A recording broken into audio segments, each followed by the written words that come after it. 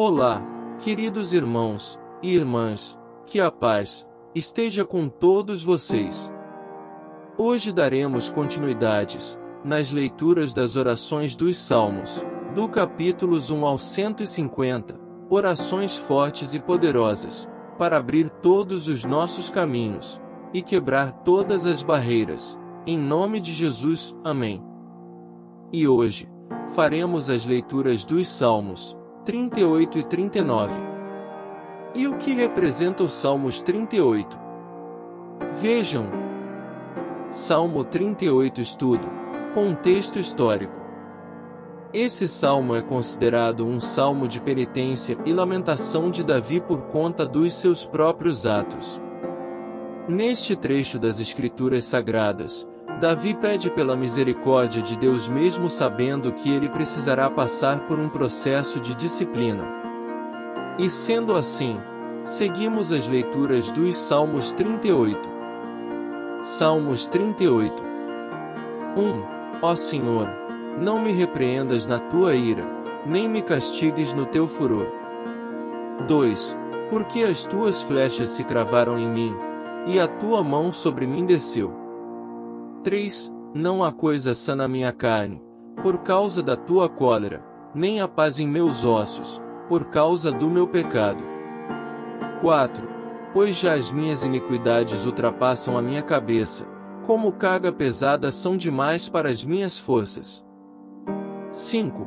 As minhas chagas cheiram mal e estão corruptas, por causa da minha loucura. 6. Estou encurvado, estou muito abatido, ando lamentando todo dia. 7. Porque as minhas ilhargas estão cheias de ardor, e não há coisa sã na minha carne. 8. Estou fraco e muito quebrantado, tenho rugido pela inquietação do meu coração. 9. Senhor, diante de ti está todo o meu desejo, e o meu gemido não te é oculto. 10. O meu coração dá voltas, a minha força me falta, quanto à luz dos meus olhos, ela me deixou. 11.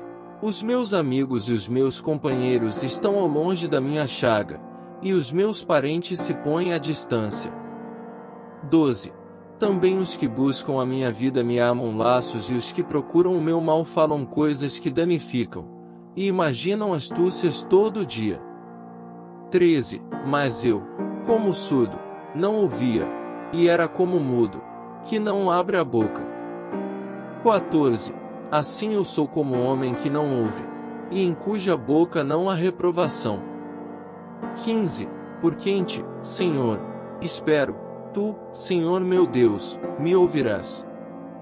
16. Porque dizia eu, ouve-me, para que não se alegrem de mim. Quando escorrega o meu pé, eles se engrandecem contra mim. 17. Porque estou prestes a cochear, a minha dor está constantemente perante mim. 18. Porque eu declararei a minha iniquidade, afligir-me-ei por causa do meu pecado. 19. Mas os meus inimigos estão vivos e são fortes, e os que sem causa me odeiam se multiplicam. 20.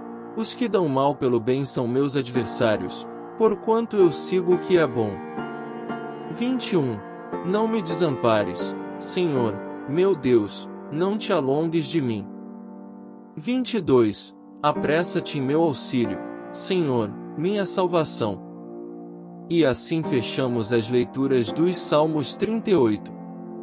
Seguiremos para leituras dos Salmos 39. E o que representa os Salmos 39? Vejamos. Salmo 39 Estudo Contexto histórico. Nesse contexto, esse salmo fala de determinação do salmista de se manter calado ante os inimigos, enquanto a maioria dos salmos fala com intrepidez contra eles. Ademais, termina pedindo que Deus o deixe em paz, no que se parece muito com algumas passagens do livro de Jó. Seguiremos as leituras dos Salmos 39. Salmos 39 1. Eu disse: Guardarei os meus caminhos para não pecar com a minha língua, guardarei a boca com um freio enquanto o ímpio estiver diante de mim. 2. Com o silêncio fiquei mudo, calava-me mesmo a seca do bem, e a minha dor se agravou. 3. Esquentou-se meu coração dentro de mim, enquanto eu meditava se acendeu um fogo, então falei com a minha língua. 4. Faze-me conhecer, Senhor, o meu fim, e a medida dos meus dias qual é, para que eu sinta quanto sou frágil. 5.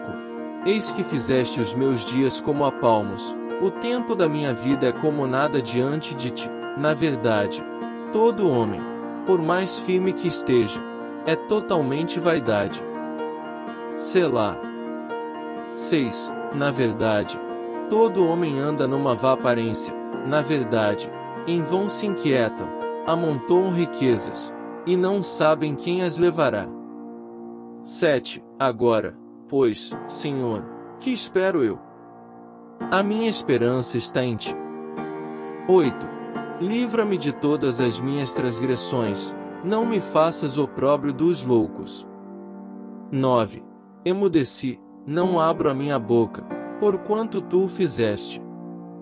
10. Tira de sobre mim a tua praga, estou desfalecido pelo golpe da tua mão. 11. Quando castigas o homem, com repreensões por causa da iniquidade, fazes com que a sua beleza se consuma como a traça, assim todo homem é vaidade. Selá. 12. Ouve, Senhor, a minha oração, e inclina os teus ouvidos ao meu clamor, não te cares perante as minhas lágrimas, porque sou um estrangeiro contigo e peregrino, como todos os meus pais. 13. Poupa-me, até que tome alento, antes que me vá, e não seja mais. E assim, fechamos as leituras das orações dos Salmos 38 e 39. Pessoal, não se esqueçam de se inscrever no canal, lá no YouTube. Link no meu perfil, no TikTok, Instagram e Facebook. É muito importante para o crescimento do canal, deixa seus likes, ativem o sininho das notificações, e assim vocês serão informados sobre outras postagens. É isso aí pessoal, fiquem todos com Deus Nosso Senhor e até os próximos vídeos.